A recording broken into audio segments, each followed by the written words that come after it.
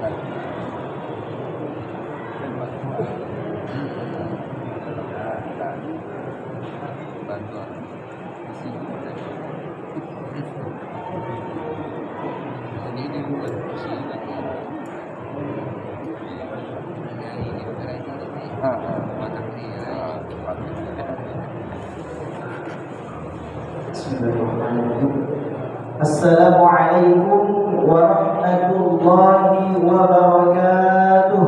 Waalaikumsalam warahmatullahi Alhamdulillah Alhamdulillahilladzi ja'ala al-qalama wal kitabah wal kitabata lil qira'ah wal qira'ata lil ma'rifah wal ma'rifata lillahi ta'ala. اللهم صل على سيدنا ومولانا محمد سيد أهل الشهود صلاة وسلاما نرقى بهما في معارك القلوب إلى المعبود وعلى آله وصحبه والتابعين لهم بإحسان إلى يوم الموعود Pertama-tama yang paling utama sama-sama kita bersyukur kepada Allah Subhanahu wa taala dengan mengucapkan alhamdulillahirabbil alamin. Yang mana pada pagi hari ini alhamdulillah masih diberikan kita kesehatan oleh Allah Subhanahu wa taala kenikmatan waktu sehingga kita tadinya melaksanakan sholat subuh berjamaah plus nantinya pengajian rutinan setiap ahadnya yang disampaikan oleh Al Ustaz Haji Ahmad Syafi'i Arahat.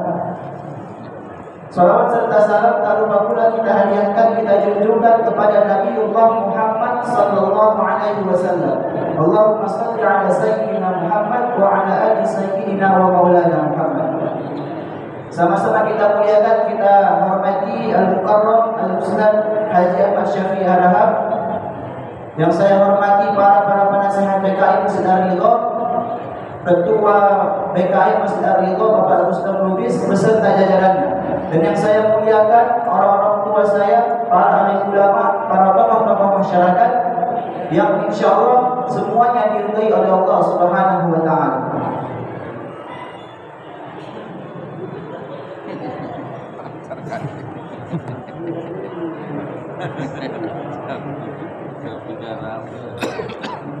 Pantun dulu.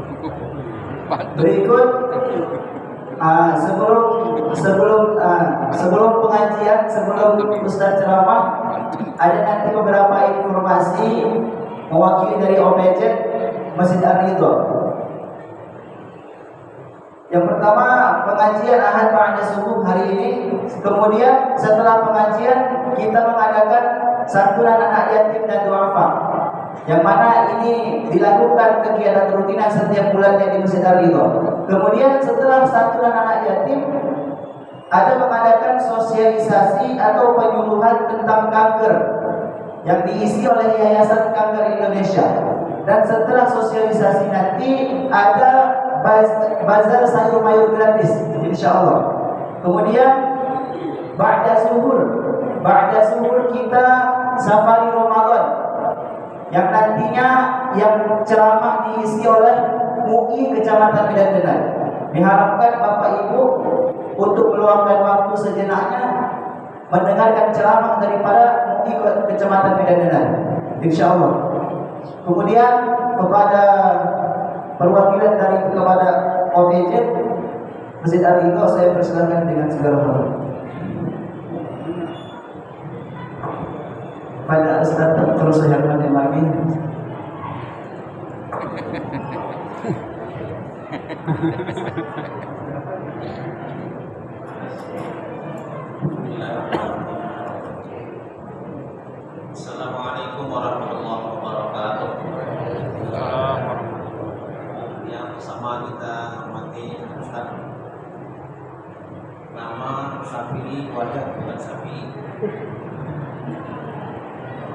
Beliau sebagai sholatnya Syafi'i yang ini menggantikan karena pasang itu. Des, des, ya. Hari ini yang ceramah bukan Mas Sapi karena beliau sakit batuk ya. Meninggalnya oleh uh, nanti beliau nanti langsung mengenalkan dirinya. Tapi yang perlu saya sampaikan izin Pak Ketua BKN dan seluruh uh, Bapak Ibu, hari ini kita akan mengadakan pasar saya gratis sebagai uh, kre, eh, kreasi daripada kegiatan karena kepada doa dan seluruh jemaah. Ini kita buat untuk melihat dan mengoptimalkan kegiatan PKN tidak hanya sholat, tidak hanya ngaji, tapi juga ada kegiatan peningkatan-peningkatan ekonomi umat termasuk nanti saturan doa dan seluruh jemaah akan dapat menikmati yang akan dibagikan. Uh, beberapa kegiatan presiden yang kami kelola beberapa lalu sudah kita laksanakan seperti misalkan mal sudah kita kirim ke dua orang mahasiswa alumni hemat yang ada di Sudan dan di Bogor. Yang sedang menyelesaikan hafalannya dan telah diikat kembali menjadi imam di masjid ini. Kemudian Ustaz ini juga disampaikan akan ada kegiatan bazar gratis pakaian layak pakai yang sekarang sedang dibutuhkan oleh seluruh warga yang akan dibagikan kepada seluruh jemaah yang memerlukan khususnya. Hari ini pasar sayur gratis kita gelarkan ini terjadi apa namanya e, terlaksana akibat dukungan. Ya karena dukungan semua donatur ada yang ngasih e, daun ubi ya ada daun ubi daun singkong dibawa kemari sekian bal ada yang panen kacang panjang ada yang panen terong ada yang panen apa namanya jeruk nipis ada yang panen e, pakis ada yang panen tomat bawang putih. Ada yang ngasih panen tapi dia ngasih uang kita belikan pajak. Dan ketika kita dibeli kita beli pajak di luar negara saya yang jual saya juga menyumbang sayuran. Ya, saya kita belajar ke pajak ketiga yang jual sayuran juga ikut menyumbang sayuran kemarin. Nah ini sedikit kepada untuk kita semua nanti kita nikmati. Tentu yang mendapat adalah yang tukang masak. Nanti juga mendapat kupon ya Pak. Jadi ini yang mendapat hak sayur, rezeki sayur adalah ibu saja. Calon ibu-ibu belum dapat. Bapak-bapak yang nggak bawa ibu nggak dapat. Ibu-ibu nggak bawa bapak tetap dapat. Nah, ya, karena akan dimasak di rumah masing-masing. Kita doakan yang menyumbang semua sayuran, yang memberikan dana untuk sayuran, kita doakan supaya sehat-sehat. Ya, termasuk yang saya sampaikan Pak Bang Ken dari Jakarta juga kirim. Ya mohon doa agar beliau ya mendapat kesembuhan daripada operasi dan penyakit yang lainnya juga mendapat uh, apa namanya uh, doa dari kita semua agar semua sehat-sehat dan rezeki ini bisa saya sampaikan maaf nanti ketika sudah selesai pengajian akan diatur oleh panitia bagaimana teknisnya untuk mendapatkan sayuran nah, supaya tertib dan tidak rasa gaduh nanti bisa diatur oleh panitia yang telah ditetapkan. Demikian kepada Ustaz saya persilakan selokan.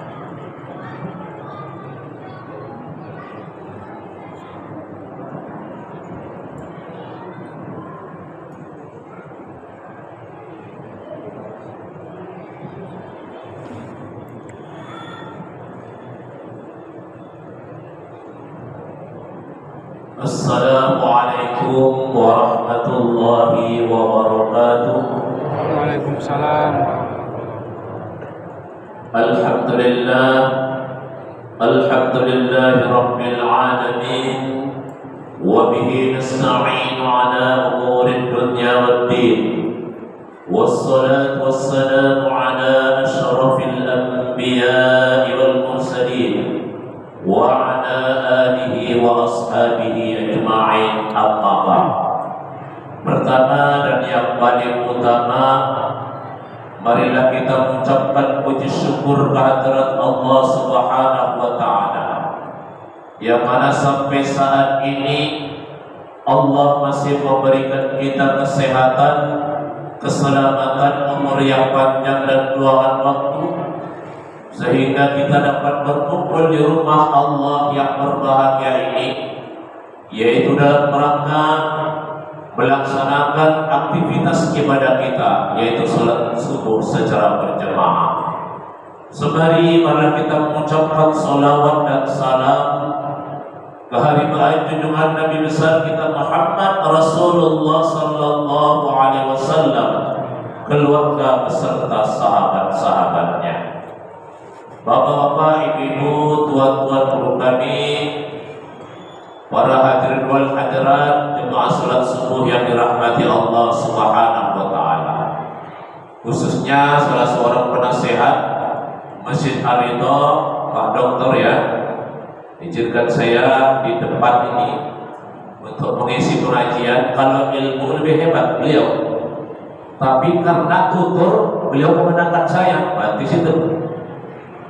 Kalau tutur di Al-Faqih ya itu ketuanya Profesor Dr. Muhammad Hatta. Bapak dan Ibu yang dimuliakan Allah Subhanahu wa taala. Dibisikkan oleh beliau tadi Ustaz Jul oh, diri dulu Bapak dan Ibu.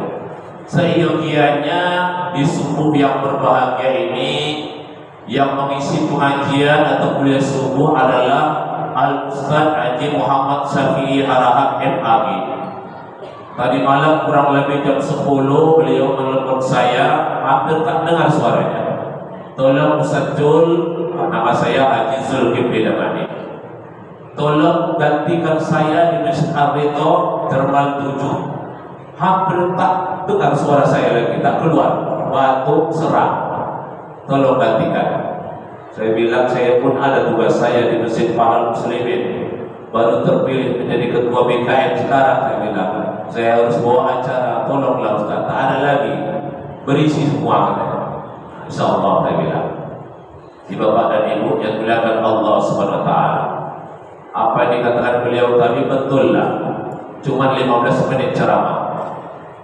Pada tanggal 15 Maret 2022 ada beberapa masjid atau pengurus BKM diundang oleh Kemenang, Kakanwil dan FKUB Forum Komunikasi Umat Beragama di Hotel Darmadali, Darmadeli dulu, sekarang Hotel Ina di depan kantor pos Medan. Yang diundang sekitar 46 pengurus Badan Kemakmuran Masjid ormas-ormas Islam dan menyuluh agama sekota Medan. Jadi Bapak dan Ibu dalam acara tersebut para narasumber mengatakan meluruskan apa yang dikatakan mohon maaf Menteri Agama yang disamakan lantunan azan dengan apa? Gogongan. Nah, sehingga yang di bawahnya pun meluruskan sambil amat maju Sebenarnya SE itu Surat Edaran Kementerian Agama nomor 5 tahun 2022 bukan itu isinya, itu beri, pribadi beliau itu. Isinya Bapak dan Ibu adalah tentang pengaturan pengeras suara baik itu masjid, musola, gereja dan sebagainya. Yang penting tempat ibadah. Itu yang dikemukakan. Jadi sebetulnya isinya pun ini menekan kita juga bapak dan ibu.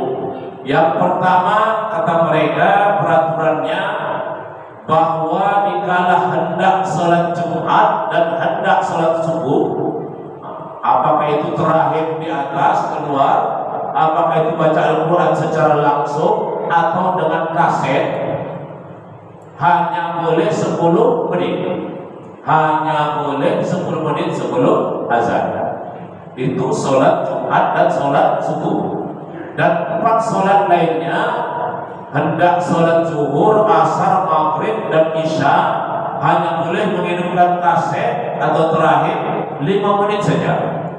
Masya Allah. Itu yang pertama. Kemudian tentang sholat Idul Fitri, Idul Adha baru boleh keluar suaranya. Karena itu merupakan, merupakan syiar Islam. Mungkin tak kuat mesin kita sampai keluar sana. Jemaahnya boleh. Hanya ketiga sekarang ini tentang pengajian yang boleh cuma 15 menit saja. Syukur saya cuma 15 menit. Padahal kalau kita lihat paling-paling yang 15 menit itu Jumat ya saya itu 15 menit khatib Jumat atau kuliah Ramadan antara Isya dan Tarawih 15 menit boleh kan? Kalau kuliah subuh seperti ini atau ceramah agama diundang ustaznya oleh pengajiran cuma 15 menit kecewa gak pak? Kecewa lah. Sehingga bereaksi semua ketika itu. Ada. Lalu kalau sekiranya kaset dihidupkan di mesin untuk dalam mau satu jam mau dua jam terserah tapi di dalam banyak peraturannya Bapak dan Ibu sampai ada yang lupa. Ini ada yang ingat saya. Bapak dan Ibu di bulan Allah SWT. Jadi setelah itu, nah ini saya luruskan sebentar. Setelah itu baru kita ceramah nanti. Setelah itu Bapak dan Ibu barulah diadakan forum diskusi yang bercakap yang pertama memprotes. Para narasumber saya bilang, di kampung kami itu mayoritas muslim tak pernah satu pun yang komplain selama ini. Dihidupkan kasih 20 menit atau 30 menit tak ada protes. Jadi siapa yang protes itu kami bilang? Ada satu namanya dari mewakili ormas Islam namanya Ustaz Dr. Abdul Saidi Sempurna Silalari. Tempatnya berdomisili beliau mayoritas non muslim di daerah teladan sana. Tahu tak kalau baca ini? Saya tinggal dirikan orang banyak orang non muslim katanya. Masjid kami ada di sana. Tak ada keberatan selama ini. Saya tanya tetangga saya ada inang-inang katanya. Jualan di Sukarami. Saya tanya inang-inang inang apakah inang tergabung dengan suara ngaji di masjid tidak Kata ilmunya justru itu menjadi alarm. Apa alarm? Alarm. Alarm. Alarm batai. Alarm. Nah, sehingga saya terbangun katanya. Saya bisa mempersiapkan diri jualan di Sukarami. Ini Batak ini namanya orang Batak. Mengayak to the point aja. Jadi yang keberatan kami apa bapak-bapak apa narasumber? Terdiam bapak dan ibu. Nah, itulah. Terakhir diambillah kesimpulan Bapak dan Ibu yang protes rata-rata seperti itu. Dan saya bilang kalaulah 10 menit dikasih waktu hendak sholat subuh hendak sholat Jumat macam saya contohnya walaupun sekali-sekali sholat tahajud tapi tidur balik ada. Tidur balik. Yang membangunkan apa terakhir di mesin atau mengaji di mesin itu bangun saya tanya bapak dan ibu kalau kita bangun dari tidur apa boleh langsung jalan atau lari? Mau oyong, setruk lagi. Jadi kata dokter, duduk dulu, paling tidak tiga menit, lima menit, duduk di tempat tidur, bangun, baru jalan. Jangan langsung tancap gas. Mau subur. darah belum turun lagi katanya. Nah, sampai ke kamar mandi, apa langsung ambil wudhu? Banyak yang mau dikeluarkan, yang encer mau dikeluarkan, yang total mau dikeluarkan. Belum lagi mandi nanti, belum lagi berwudhu. Sehingga terbirit-birit, saya bilang terkincit-kincit datang ke masjid. Kalau sekiranya kita sesak bapak dan ibu, langsung ambil wudhu, takut ketinggalan masjid sholat subuh. Sampai masjid sesak. Apa yang kita rasakan? Bukan khusyuk lagi, bukan khusyuk lagi ketika mendirikan sholat. Karena menahan, ada yang dikeluarkan. Nauzubillah nah, Begitu juga ketika akan sholat zuhur, asar, maghrib dan isya, cuma lima menit bapak dan ibu. Kita mungkin banyak urusan dan sebagainya, cuma lima menit dikasih waktu. Sehingga banyak kita tertinggal barangkali, ketinggalan sholat gara-gara peraturan ini. Alhasil bapak dan ibu, diambillah keputusan bahwa SE nomor 5 tahun 2022 itu hanya merupakan himbauan. Himbauan. Kalau sekiranya Bapak Najar ini suruhnya ngidupin kaset nah, yang bertugas ini setengah jam nggak langsung datang polisi menangkapnya langsung di penjara tidak. Hanya himbauan. Mungkin barangkali katanya alasannya ada tetangga masjid itu yang sakit atau ada yang buat acara dan sebagainya. Kita tolong ada punya rumah itu yang punya hajat itu kecilkanlah sedikit volumenya. Kami sedang ada acara barangkali ada yang meninggal barangkali ada yang sakit. Paling itu lah tapi kalau mengurangi bapak dan ibu yang selama ini 20 menit jadi 5 menit jadi 10 menit tak mungkin lah apalagi barangkali di sini insya Allah mudah-mudahan mayoritas orang Islam. Tak ada keberatan. Ada keberatan selama ini ada ngaji di masjid. Insya Allah tak ada. Jadi Bapak dan Ibu itulah hasil diskusi tanggal 15 Maret kita tetap berjalan seperti biasa. Kalau mungkin ada tetangga kita tetangga masjid mohon kepada kita ke nasirat ya sama-sama enak. Kita kurangi volumenya dan sebagainya. Nah demikian Bapak dan Ibu yang dimuliakan Allah Subhanahu taala. Kemudian yang kedua, saya teringat ketika mengisi juga kuliah subuh hampir seperti ini keadaannya. Ketika itu 20 hari sebelum Ramadan kita di Masjid Al-Mukhlisin Medan Area.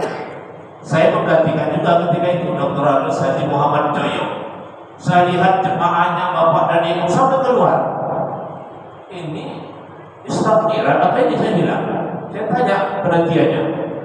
Anak muda banyak itu, remaja masjidnya di luar sudah menyediakan minuman di atas meja semua, sayur-sayuran di atas meja semua, ada gula, ada beras, yang bercakap itu mendapat gula jadilah. Nanti bapak dan ibu barangkali yang dapat kupon dan sebagainya dapat sayur, kata Ustaz tadi bisa langsung dimakan. Mana mungkin bisa makan langsung? Dimasak dulu lah nanti sebelum maghrib. Nah. jadi saya tertarik kepada dia. Dan ini sudah banyak dilakukan oleh beberapa masjid. Termasuk masjid Musadim ya Semarang uh, apa lagi? Dekat Bung Susana itu apa itu masjid apa namanya? Ada juga. Dan termasuklah masjid Al sidin itu. Dan ini alhamdulillah di Jerman tujuh masjid yang kita cintai ini sudah diadakan. Berapa kali sudah Pak? Najib baru pertama kali walaupun di bulan suci Ramadan. Nah, jadi ibu-ibu terutama nanti tak malah kebanyak lagi. Udah ada sayur. Nah, cuman kalau bisa ke depan nanti jangan sayur aja. Minyak goreng. Ini cari orang Cuma tak ada yang di sini pula pengusaha minyak goreng yang ada tanam kacang, tomat, kentang dan sebagainya. Nah, ke depan sama Allah terkumpul dana itu yang paling penting lah selain saya ini sudah hebat ini di awal seperti ini. Bapak dan Ibu yang dimuliakan Allah SWT. Di samping itu menyantuni anak yatim, kaum duafa, luar biasa. Dan saya tengok jemaahnya membludak bersama-sama dengan masjid kami di Pahlawan Muslim sana Jalan Bencana. Bapak dan Ibu yang dimuliakan Allah hanya memberikan motivasi pada subuh yang berbahagia ini kita ceramah khusus tentang sedekah. Luar biasa. Pahala sedekah dan kegunaannya. Jadi bapak dan ibu sedekah ini manfaatnya bukan bertambah rezeki kita juga tapi bisa panjang umur. Kesehatan dapat mengampuni dosa dan kesalahan kita banyak manfaatnya bapak dan ibu kami berikan beberapa contoh tentang manfaat sedekah. Bapak dan Ibu, jemaah salat subuh yang dirahmati Allah Subhanahu wa taala. Pada suatu hari ada seorang pengemis datang ke rumah Nabi kita Muhammad sallallahu alaihi wasallam dan berkata, "Ya Rasulullah, aku minta sedekah kepada kata pengemis ini." Lalu Rasulullah memerintahkan kepada istrinya Aisyah radhiyallahu an untuk mengambil bajunya supaya diberikan kepada pengemis tersebut. Ummul Mukminin Aisyah radhiyallahu mengambil baju Rasulullah dan diberikan kepada pengemis itu. Alangkah senangnya bapak dan ibu sang pengemis tanpa permisi meninggalkan rumah Nabi kita Muhammad sallallahu alaihi wasallam dan menuju pasar. Sampai di pasar pengemis ini mengatakan, Wahai saudara-saudaraku, siapa yang ingin membeli baju Rasulullah ini? Spontan saja bapak dan ibu orang berkerumun untuk memperebutkan baju Nabi kita Muhammad Sallallahu Alaihi Wasallam. Dan hal ini didengar oleh seorang buta, namun dia kaya. Dia perintahkan kepada budaknya, wahai budak, ikut kau rebut baju Rasulullah. Ini dan sebagai imbalannya kau akan kumerdekakan Tuhan yang buta ini. Alangkah senangnya sang budak ikut memperebutkan baju Rasulullah itu. Padahal orang banyak ketika itu Alhamdulillah dengan izin Allah Bapak dan Ibu dapat pula sang budak ini mendapatkan baju Rasulullah. Tentu saja dengan harga yang cukup mahal lalu ia berikan kepada tuannya yang buta setelah ia tepati janji sang buta ini memerdekakan budaknya sang buta ini pun berkata ya Rabb wahai Tuhanku dengan baju yang suci ini sembuhkanlah mataku maka bapak dan ibu dengan izin Allah langsung bisa melek langsung bisa melihat dunia ini. Yang selama ini kita bisa melihat. Luar biasa manfaat sedekah Nabi Nah, kemudian pada keesokan harinya dia datang ke rumah Nabi kita Muhammad Sallallahu Alaihi Wasallam dan berkata, Ya Rasulullah, pada saat ini mataku sudah sembuh, bisa melihat kembali dengan izin Allah dan baju yang suci ini. Maka pada saat ini kembalikan baju ini kepada sebagai hadiah dariku, kata sang buta yang sudah sembuh. Tentu saja sang buta ini yang sudah sembuh menceritakan kepada Nabi kita Muhammad Sallallahu Alaihi Wasallam dari awal sampai akhir peristiwa yang terjadi kemarin. Mendengar hal ini Rasulullah tertawa sampai terlihat gigi geraham. Lalu berkata kepada istrinya Aisyah radhiyallahu anha, "Wahai ummul mukminin, lihatlah baju ini. Dengan berkahnya ia dapat mengkayakan orang miskin menyehatkan orang buta, memerdekakan seorang budak dan kembali kepada kita. Berapa manfaatnya Pak? Ada empat. Yang miskin yang orang minta-minta tadi jadi kaya karena telah terjual baju Rasulullah dengan harga yang cukup mahal. Yang buta bisa melek kembali. Yang tadinya budak dimerdekakan. Kalau zaman dulu luar biasa mahalnya itu ratusan ribu, ratusan juta barangkali harganya memerdekakan seorang budak dan kembali kepada yang bersedekah. Masya Allah, itulah manfaat orang rajin bersedekah bapak dan ibu. Makanya ada kegiatan seperti ini yang dilakukan oleh UPZ ya, Udin pengumpul zakat. Kalau di pusat bajis namanya, kalau di masjid-masjid UPZ, macam kami sana pun UPZ, Udin pengumpul zakat namanya, itu terkecil dari mesin ke mesin. Salah satunya kita membelikan makanan atau memberikan informasi kepada jemaah dan pengurus supaya bersedekah, rajin bersedekah, terutama di bulan suci Ramadan yang mulia ini. Itu yang pertama. Pas yang kedua, pada suatu hari bapak dan ibu yang dimuliakan Allah Subhanahu wa taala, khalifah yang keempat siapa Bu? Ali bin Abi Thalib pulang dari perjalanan jauh ke rumahnya. Namanya dari perjalanan jauh dan ibu pasti apa? Perut keroncongan mau makan, minta makan. Sampai rumah setelah mengucapkan salat dan pintu dan mengucapkan salat dibuka oleh istrinya Fatimah Az-Zahra. Apa kata beliau? Wahai istriku, apakah ada makanan? Dengan jujur istri yang mengatakan, tidak ada ya suamiku. Bukan langsung marah-marah Ali bin Abi Thalib, tapi langsung beliau ke rumah, keluar rumah untuk mencari uang untuk bisa diberikan makanan. Apa pun itu pekerjaannya. Padahal ketika itu beliau sebagai khalifah, kalau sekarang presiden, pemimpin, bisa saja mendapatkan uang dengan mudah. Tapi beliau ingin mendapatkan uang dari hasil keringatnya sendiri. Sehingga mencari pekerjaan bapak dan ibu, apa dapatnya? Jadi kulit pakul, tak ada malu pun sedikit. Jadi kulit pakul bapak dan ibu. Setelah melaksanakan tugasnya sebagai kulit pakul, dia dapat upah 4 dirham cuma. Tak perlu sekarang berapa kita di rupiah. Nah, dia berpikir ini bisa untuk membeli makanan untuk keluarga, istri dan anak-anaknya. Namun sebelum sampai rumah, ada pula seorang pengemis datang menjumpai beliau. Wahai Amirul Mukminin, kenal pula pengemis ini. Beliau adalah seorang khalifah ketika itu. Wahai Amirul Mukminin, saya seorang pengemis. Berilah sedekahmu kepadaku. Aku sudah dua hari tidak makan. Ali berpikir bapak dan ibu, ini pengemis ini sudah dua hari tidak makan, sedangkan aku dan keluargaku baru satu hari tidak makan. Lalu ia berikanlah uang empat dirham tadi yang seharusnya diberikan makanan untuk keluarganya, diberikan semuanya kepada pengemis itu dengan ikhlas semata-mata karena Allah Subhanahu wa taala.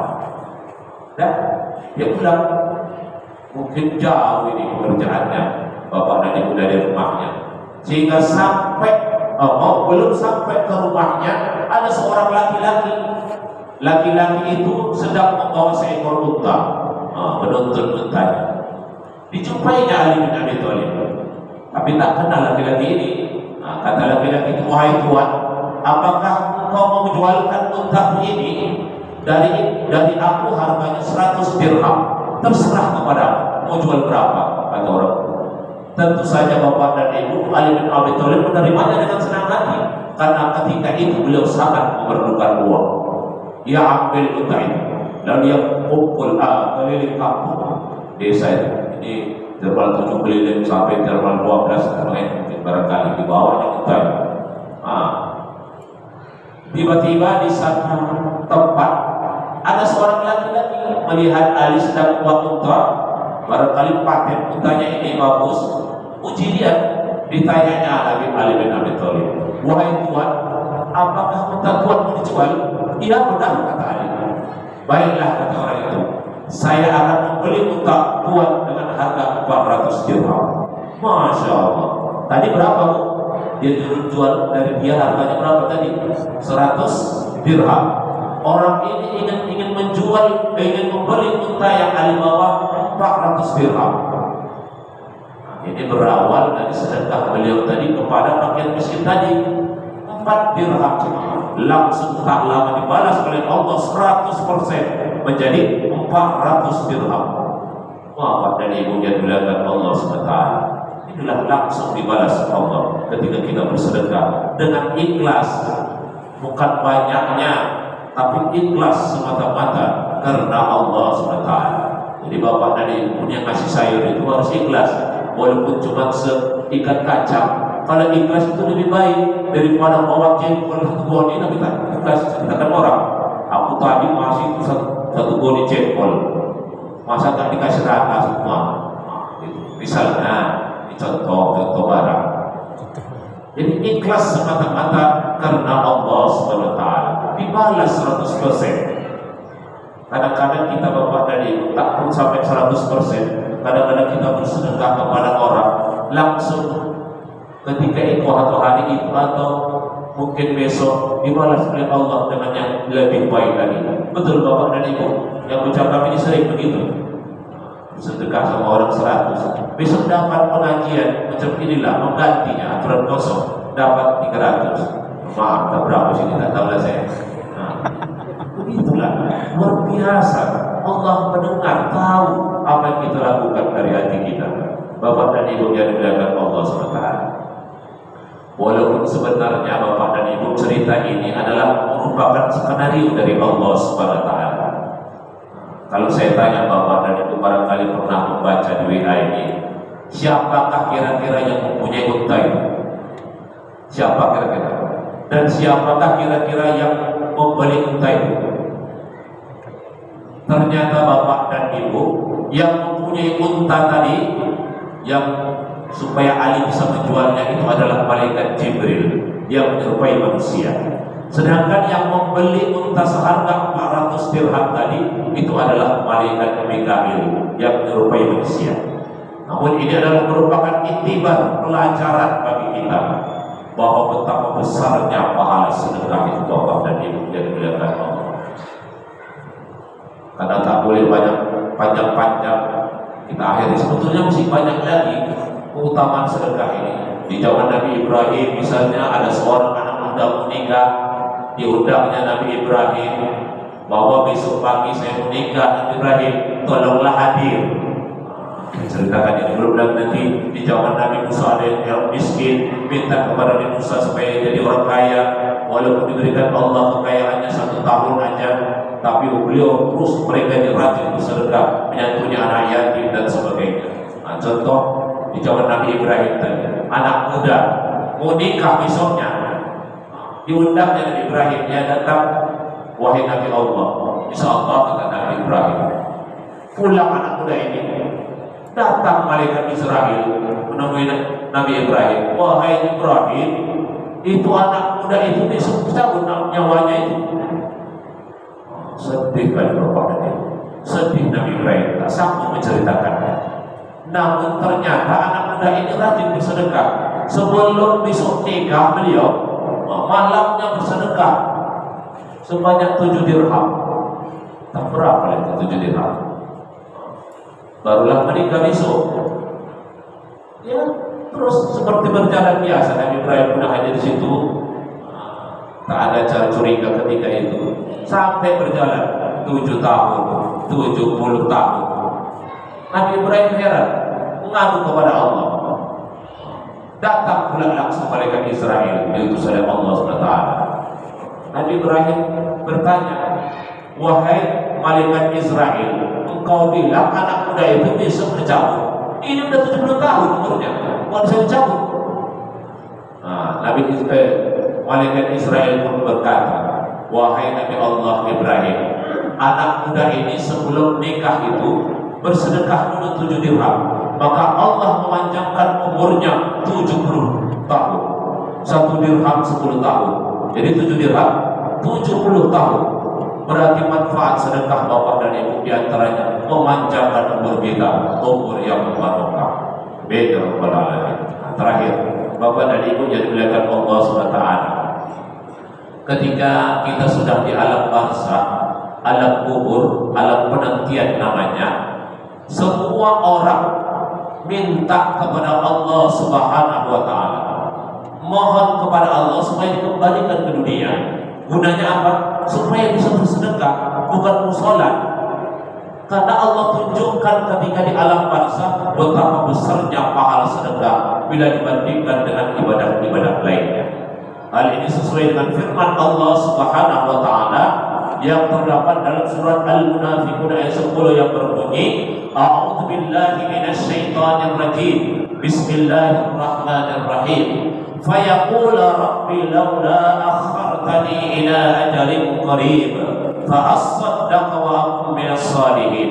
Ya Rabb kata orang yang sudah berpelang kepada Allah jika engkau berkenan mengembalikan aku ke dunia sebentar saja tak apalah lama sebentar saja maka akan aku akan bersedekah dan aku termasuk orang-orang yang soleh.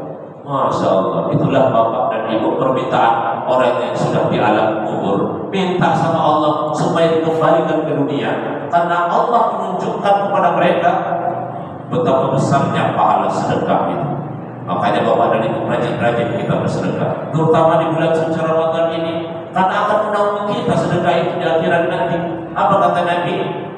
Setiap orang akan berada di bawah naungan sedekahnya sampai diputuskan perkara-perkara di antara manusia. Hadis riwayat Ahmad. Dan yang terakhir, hadis yang terakhir. Ini luar biasa. Makanya di bulan suci Ramadan kita disuruh bersedekah, memberikan perbukaan bagi orang yang berpuasa. Bukan banyaknya, sedikit tapi ikhlas. Nah, ini hadis yang terakhir sebagai penutup. Nah, ternyata bersedekah itu memang dianjurkan walaupun kita tidak mampu walaupun sepotong bukan sebiji ya sepotong kurma bukan sebiji kurma. Apa kata Nabi Bapak dan Ibu sebagai penutup? Jagalah diri kalian dari api neraka walaupun hanya bersedekah dengan sepotong kurma bukan sebiji kurma. Ini hadis riwayat Bukhari. Masya Allah. Maka Bapak dan Ibu rajin kita bersedekah. Di bulan suci Ramadan ini Mudah-mudahan Allah menerima sedekah kita dan melipat gandakan pahalanya. Amin ya rabbal alamin. Mohon maaf atas kekurangan selamat. Akhirul kalam billahi taufiq wal hidayah. Wassalamualaikum warahmatullahi wabarakatuh. Baiklah Bapak dan Ibu yang dimuliakan Allah Subhanahu wa taala, marilah kuliah subuh ini kita tutup dengan doa mudah-mudahan apa yang kita laksanakan pada hari yang berbahagia ini kiranya dijabah, diperkenankan Allah SWT segala apa yang kita berikan atau sedekahkan. Amin ya rabbal alamin. Bismillahirrahmanirrahim. Alhamdulillahi rabbil alamin. والصلاة والسلام على أشرف الأنبياء والمرسلين وعلى آله وصحبه أجمعين اللهم ربنا تقبل منا إنك أنت السميع العليم وتب علينا إنك أنت التواب الرحيم. اللهم أحسن عاقبتنا في الأمور كلها وأجرنا من خزي الدنيا وعذاب الآخرة. اللهم اغفر لنا ذنوبنا ولوالدينا وارحمهما كما ربيانا صغيرا. ولجميع المؤمنين والمؤمنات والمسلمين والمسلمات الأحياء منهم والأموات برحمتك يا أرحم الراحمين. اللهم بارك لنا في الموت وفيما بعد الموت. اللهم اجعل جمعنا هذا جمعا مرحوما وتفرقنا من بعده تفرقا معصوما ربنا آتنا في الدنيا حسنة وفي الآخرة حسنة وقنا عذاب النار. وصلى الله وسلم عليه. والحمد لله رب العالمين. تقبل الله منكم منا ومنكم. تقبل يا كريم. أخير الكلام بالله التوفيق والهداية. والسلام عليكم ورحمة الله وبركاته.